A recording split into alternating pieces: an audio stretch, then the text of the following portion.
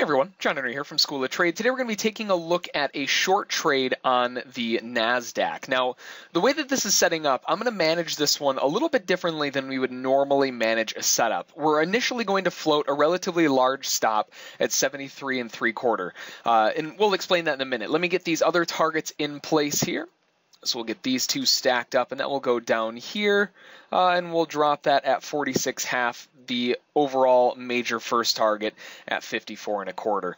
So everything looking really solid. The one big thing that we're taking note of is the fact that this is a really big trade. It's a huge wave pattern. So because of that, being such a large pattern, we do have to manage it slightly differently. You don't necessarily just want to drop your stop smack on the highs right here because there's a good chance it's just going to whip back, stop you out, and then go exactly where you thought it was going to go. And right here, we actually just saw that. I had to move it pretty quick because it moved, it moved kind of fast there, but it triggers you in. It'll go right back up probably stop you out if you didn't move it fast enough. And then now we're looking for that fall down as we get more price action in our direction, we can look to move our stop in a little bit farther down. But because it's such a large wave pattern, you don't really want to play with fire. You're much safer just making sure that you've got a wide enough stop so the market can do whatever it needs to do before starting to go back in your direction. The setup itself looks absolutely beautiful. We came right out of the trigger zone, beautiful trigger zone test. We're seeing rejection back down again. Now it's just a matter of seeing it and letting it do its thing. So as we get a little bit closer, especially once we start breaking the BMT down here, then we'll lock our stop in a little bit closer. But for our first target, we're looking to lock in 13 points. We're taking two off there, so 26 points. Then the final push down at 46 half for 20 points, 20 and three quarter points on the way back down. So again, if you're not super familiar with the Nasdaq, it ticks just like the S&P, four ticks to a point. So 13 and 13 is 26, plus another 20.75 and 20.75. That's 67 and a half points total. Uh, so 67 and a half points by itself is a, a massive run, but there's four ticks for every point. So that's 270 ticks total on the move. Now 270 ticks at $5 a tick that's 1350, right? So lots and lots of movement down. And even though we're only taking four contracts on this because of the initial risk size, we've got more than enough room and more than enough profit to be built into the trade that it makes complete sense. Now that we've gotten our move back down to the BMT and we know that price does want to turn around, now we can lock our stop in a little bit tighter. 70 and a quarter is going to be the stop now. And you'll see how fast, even though we were already in positive risk reward, how fast that risk reward just ratcheted in. We're at like a 4 to 1 now, uh, or 5 to 1 in terms of risk reward on the setup. Now it's just a matter of letting it do its thing. We're just after 10 o'clock. There's not really any news today. Maybe a slow grind all the way down. It is a big wave pattern after all, but overall looking for that first target at 54 and a quarter.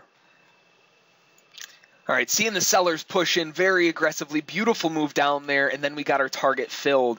So we got that first target at 54 and a quarter filled, and this is where we can actually have a little bit of fun with the setup. We have a beautiful rundown. We have our first target. We definitely want to go to at least break even.